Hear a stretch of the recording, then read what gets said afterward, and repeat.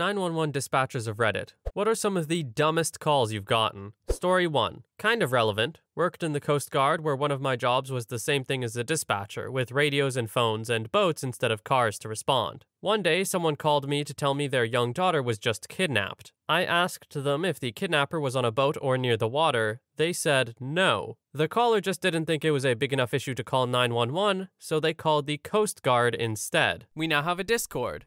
Check out the server in the link in the description. Story 2. I've been a dispatcher for about seven years now in a medium sized county in Florida. A. Every year on July 4th and New Year's, we get calls about gunshots. Every single time the caller is perfectly convinced they're gunshots and couldn't possibly be fireworks. They'll say they hear automatic weapons or, my personal favorite, rapid fire shotguns. And every single time a deputy goes out to investigate, and it turns out to be the unlikely culprit of fireworks. B. I had one woman call 911 to tell me she found a cell phone on the ground. That's that's it. C. Irate elderly male calls 911 while standing in the sheriff's office lobby to report the clerk not being helpful enough. When I told him that's not something you use 911 for, he went crazy, going as far as to threaten to break into the office and shoot me. He was subsequently arrested. D. Male was arrested for domestic battery, called 911 from the backseat of the patrol car, and stated he was being unlawfully imprisoned. When I told him the only thing I could do for him was send more deputies, he said, no thanks, and hung up. He then proceeded to call three more times looking for a different answer. We told the deputies on scene. They took his phone away and added a charge of misuse of 911. E. Had a woman call in stating she accidentally took too much melatonin. She started getting hysterical when she felt the effects of her overdose. She was getting sleepy. Story 3. 1. Every Thanksgiving, you'll always get the person who calls because they don't know how long to cook a turkey. Never fails. I'm gonna have to wait for that. 2. Every Thanksgiving, someone always puts a frozen turkey in a deep fryer, usually in a trailer home, and a fire, surprisingly, occurs. And 3. People who have warrants on themselves love calling to complain and ask to see the police in person for a dispute. They don't seem to remember we look up everyone in the dispute, not just the accused. So, for number one here, are people calling 911 to ask how long to cook a turkey for, or because they cooked it too long and something happened? I like to imagine people are just really looking for cooking advice on 911. Story 4 we have a call that every new trainee in my county listens to during training, because it highlights how completely oblivious our callers can truly be. A neighbor enters her friend's house because she's not answering the door. She finds her on the couch sleeping. She calls 911 because she's not waking up. She says, She's not moving, not answering me, or waking up. It looks like she's been cooking with blueberries. Her hands are all blue. Operator already knows that means she's dead. We send everyone out. EMS arrives first on scene and immediately backs out. According to the deputy that arrived right after, she had a gun in her hand. She had shot herself in the head and it splattered all over the wall behind her. Our caller never even noticed. Story 5. I'm not a 911 dispatcher, but I'm a central station operator. I'm the lady that asks what your password is when your alarm goes off. Been at my job for five years. My favorite call ever was the second call I made to the house of an old couple. Their alarm had gone off about 30 minutes prior and they weren't sure why the alarm was sounding, so they asked me for the police to be dispatched. On the second call, the wife answered the phone, gave me all the correct information, and then passed the phone to the officer. The alarm was still sounding, but there was another weird beep in the background. We walked the owners through shutting their system off, but this beep was still going off. The officer was getting frustrated, and the homeowners weren't sure why the alarm was still sounding, so they asked me to shut the alarm down. I told him that our system was shut off and the beeping wasn't from us. The officer then went looking for the sound. He found out it was their alarm clock sounding. I swear, I heard him roll his eyes through the phone, and I just tried my best not to laugh. He handed the phone back to the older couple who still had no idea what was going on, but said that the officer told them that everything was okay.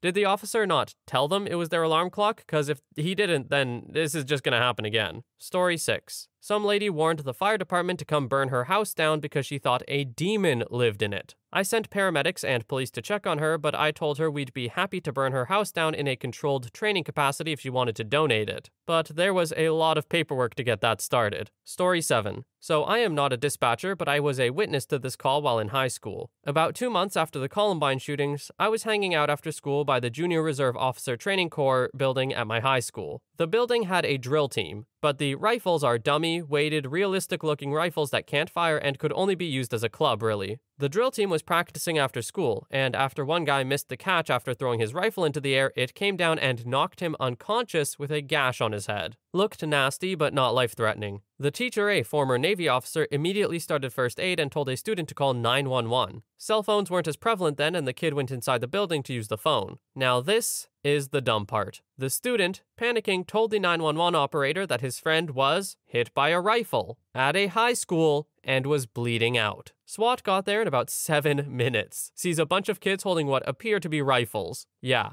it was a mess. One ambulance out of the 10 sent got there eventually after SWAT gave the all clear. The kid hit by the rifle was okay, but needed around 10 stitches and ended up with a new nickname of Snipe. Story 8. Repo companies in the area report their repos to us, just in case the owner decides to try and report the car stolen. I started my shift that day logging several when one of the owners calls in. We take his info, confirm it matches, and let him know it was reported as repossessed and to contact his finance company. A little while later, he calls 911 again to let us know that he paid it up to date and the address they gave him to pick up the car didn't exist so he wanted to report it stolen. We again refer him to his finance company. A few hours later, he called 911 again. He checked his onboard GPS signal and saw it listed his car in another city the next state over. So he had driven there and searched the city but didn't find it, so it had to be stolen. We again explain it was repoed and to continue speaking with his financial institution. The day carries on and we eventually get to the end of our shift. As we are wrapping everything for our shift up before night shift gets in, he calls 911 again. He found the tow yard his car was stored at, but it was closed for the night. He needed us to open it for him so he could claim his car. We explained that it was a private business and the car wasn't stolen, so we can't just bust in and take it. He will have to claim the car once they're open in the morning. He was so moved by our logic that he decided to try reporting it as stolen again. Story 9. I actually had the finance company over a barrel in a similar situation. You see, I had in fact paid on time, early, in fact. Further, I had always paid before the due date and paid additional money to pay it off sooner. Joe Blow's towing company gets the call that I'm a no pay. I come out to go to work, but no car. Immediate reaction was someone stole my car, so I dial up 911. We're a very small town, so the cop who shows knows me. We fill everything out and he asks me what happened to my yard. Turns out when the tow truck snuck in, they gouged a deep ass furrow in my freshly seeded and growing yard. This gets documented as well. I realize that the tire treads are dualies. The light goes on. I call the finance company, immediately ask for the regional manager. After some next level self control, I manage to sound only marginally like I'm going to blow a gasket. They pull my account, see nothing amiss until I ask why my car has been repossessed. I explained that if my car was still there by lunchtime, I'd be pressing charges on only the finance company. Tow dudes were just fulfilling their contract. They say they are going to be calling me back shortly. Ten minutes later, I received a phone call. This is Mr. Moneygrubbin, who is the VP of said finance company. Uh, sir, we did bad. Someone issued a repossession order for your vehicle, but I can clearly see that was an error. Since this must be a terrible inconvenience for you, we'll have your car returned before noon today. But you stole my property. How about we just take care of the last $1,200 you owe? Okay, get it to me in writing with the car, and I'll be in to pick up my title. Served them right. Story 10. My husband used to dispatch before he was old enough to go to police academy. We lived in a small town ranked third most dangerous in our state. Lots and lots of substance use. There was a woman who was honestly crazy. I don't know if she had mental problems before the drugs or if the drugs fried her brain, but she was a regular caller. Some of her calls, she would call and say that she had been assaulted. After coaxing some info out of her, she said that she knew who did it. It was her stuffed bear. Another time, she called to report a break in because she fell asleep with her blanket wrapped around her, but when she woke up, it was bundled at her feet. She called one summer night, routinely got over 115 degrees in the summer, and said that she had walked three miles from her apartment and needed a ride back because she was barefoot and her feet hurt. He asked her where her shoes were, and she said that she was carrying them. She walked three miles and didn't think to put them on. Another call wasn't stupid, but still stuck with me. It was a domestic violence call, and when he asked what was going on, the woman yelled, He threw a piping hot chicken pot pie at me. Something about her attention to detail I just thought was funny in an unfunny situation. Story 11. A man called 911 on himself because he was driving drunk. So he pulled over and waited for the police to get there. They got there and offered him a ride home. He's still getting charged.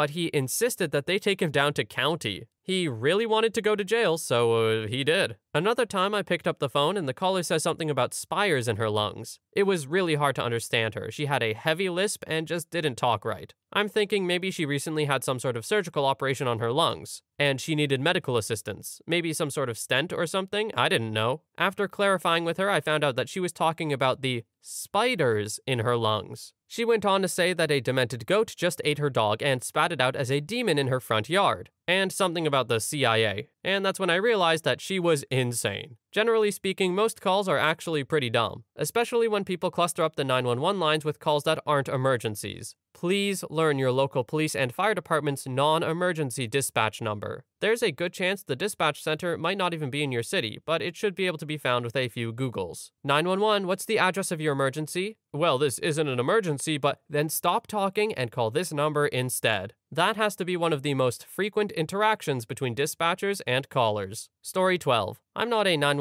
dispatcher, however, I have a funny story involving my work and a 911 call. I work as a game master for an escape room company. We have a particular room that involves a phone, in which you need to input the correct phone number into it to progress the room. It's not a real phone, but one of the players had said, dial 911. Their Apple Watch then dialed 911. They apologized and said that they were hostages in an escape room. Luckily, the dispatcher understood they were playing a game and not real hostages. For those wondering, if you input 911 into the phone in that room, it will say something along the lines of, You are unable to make the call as dialed. Story 13. Answered a 911 call from a gentleman stating someone was chasing him. He had no idea where he was other than it was the beach. I used the Phase 2 location from his cell phone to start officers, while I tried to get more information. Because English was not his first language and he seemed extremely panicked. He's in a vehicle and another vehicle was chasing him. I heard sirens in the background and asked if he knew who was chasing him. He said, yes, that it was Border Patrol and he was scared, and refused to pull over for them. I convinced him to pull over for one of my officers, and that was the end of it. So, who did this guy think they were going to send from calling 911? Because there would just be more sirens coming his way. Story 14. My favorite was one taken by a coworker. She had a guy who called to report hearing gunshots. He was the kind of pompous guy who insisted he could tell her the caliber of gun from the sound of the shots. The officers were checking the area and he called back.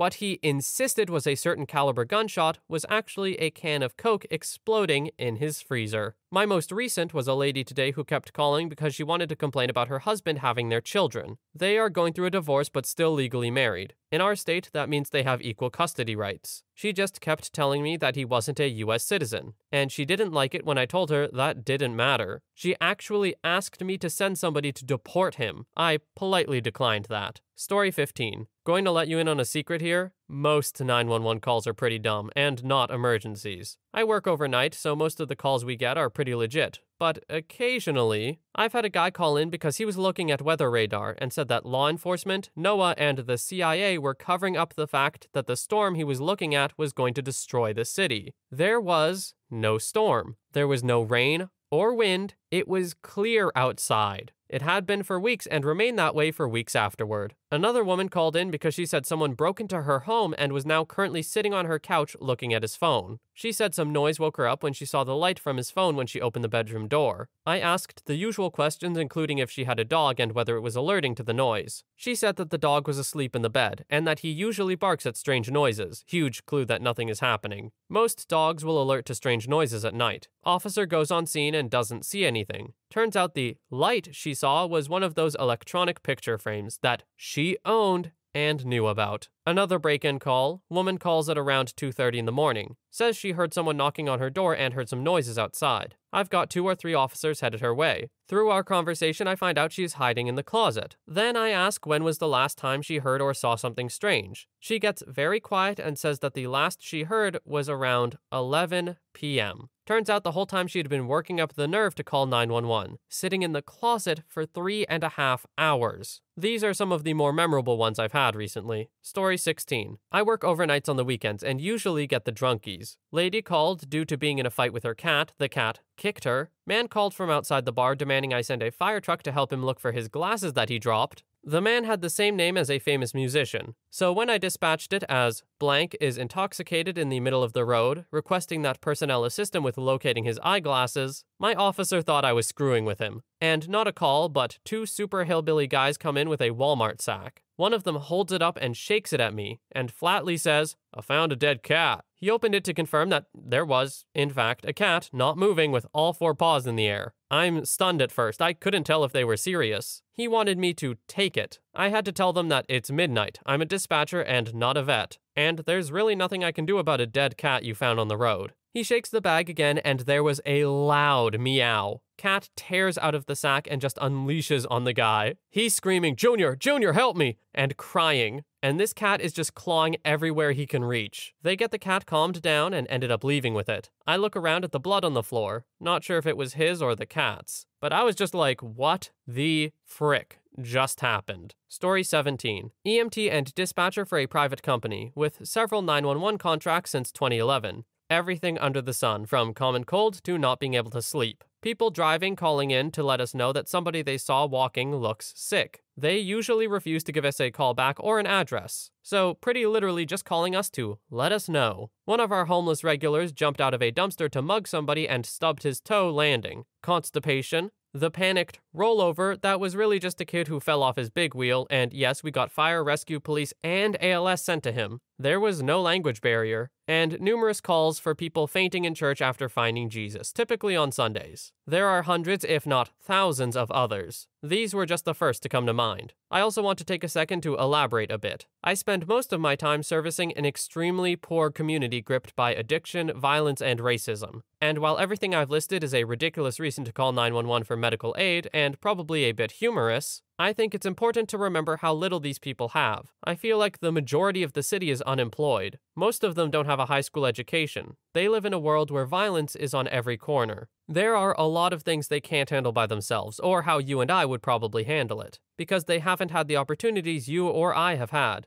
A lot of them are also immigrants, who live and work with only other immigrants and speak almost no English. The concept of 911 here doesn't translate well to them. You or I think there's a dire emergency to call. To them, it's a culture of if you have a problem, any problem, call. And it's hard to re educate. We can't exactly get a bunch of the first responders at a public meeting and announce, stop calling us for this crap. So we essentially have to find teachable moments on nonsense calls and try one person at a time, which is a losing fight in a city of 100,000. Anywho, just something to think about before you read one from this thread and think, oh, what a freaking idiot. Story 18. A father requested an ambulance to take his son from one hospital's ED to go to another hospital's ED. Dad was upset because the nurses were trying to take a rectal temp from the boy, and according to Dad, this was going to turn him gay. The boy was less than two years old and very sick. Dad was perfectly willing to delay his care several hours out of some of the most profound ignorance I have ever encountered. We did not send him an ambulance because that would have been illegal, but also just because dad is a piece of crap. We did get the police and child protective services over there though. Story 19. Relaying these two stories from my mother who worked 911 for 20 years. I've posted them before, but here goes. 1. People are racist jerks. A woman called in, panicking and upset, wanting an officer to come out to some shopping center where a dentist office was. My mom asks her what's going on, why does she need help?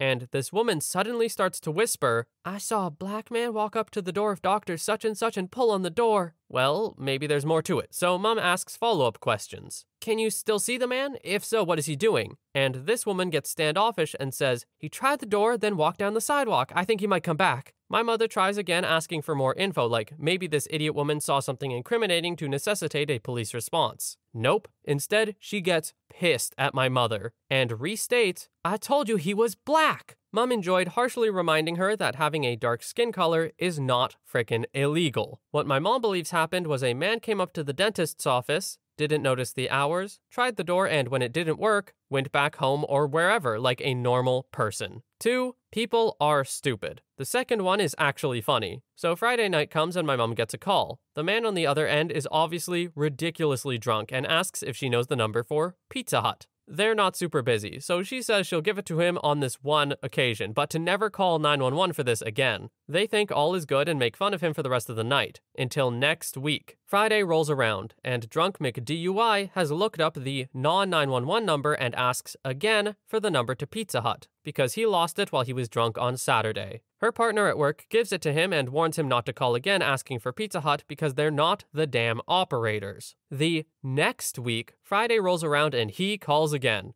And only this time does a friendly officer go down to his address to remind him to not call them to call Pizza Hut. No word on if he was given the number again by the officer. And one extra this is the dumbest but real problem she was ever called in for. It was a semi truck tire rolling down Main Street and endangering traffic. They weren't the brightest, and apparently the responding officer blue lighted the tire. They heard the sirens through the radio and asked him if he planned on pulling the tire over. After chasing it to a roundabout, it finally fell over. But the idea of them chasing a truck tire in a police car has made me laugh for 15 years.